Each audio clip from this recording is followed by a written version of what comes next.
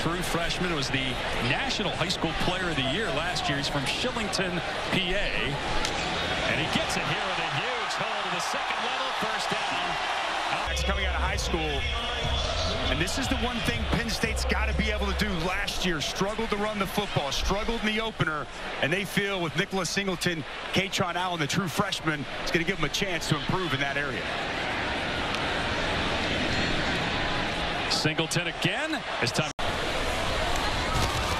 From the 30-yard line, Singleton with running room. And then he turns on the Jets past the 50-yard line. Stays in bounds. They will not catch him. Singleton all the way for a 70-yard touchdown.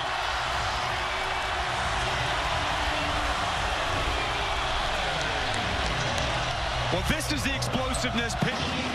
To get out on the edge, you got to have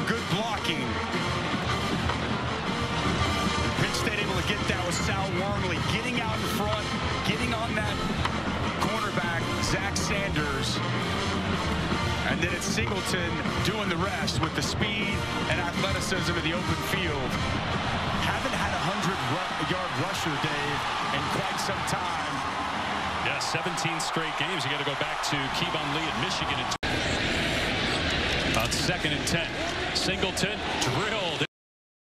To be applauded. He should get one. I think he's going to get one. Would be surprised if he got booed. Jet sweep. Singleton dragged. Run play on first down. Singleton gets outside. And Singleton, there he goes again. And a 70-yard run in the first half. Finally. with a good block right on the edge of that offensive line. And that speed, it is lethal for Nick Singleton. Man, get out in the open field and good luck. It's going to take more than arm talent. On the day and only a handful of carries. This time he's dragged.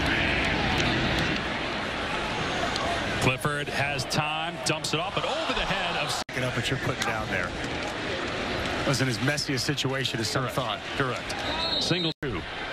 Potentially. Dusty and I want it. We love it. Into chaos, Tom. Looked like a Heisman candidate, but they fell apart. Again, it's Singleton, and he's to the 43. Good physical. Working with multiple quarterbacks as they fake. And around the edge, Singleton, another house call. Touchdown, Penn State. 44 yards. Closing in on 175 in the day. To, to wrap up your point, it's a great asset. I'll tell you what else is a nice luxury. To be able to recruit and bring in guys like Nick Singleton. Wow. I mean, that's just Nick Singleton getting to the edge, shrugging off an arm tackle,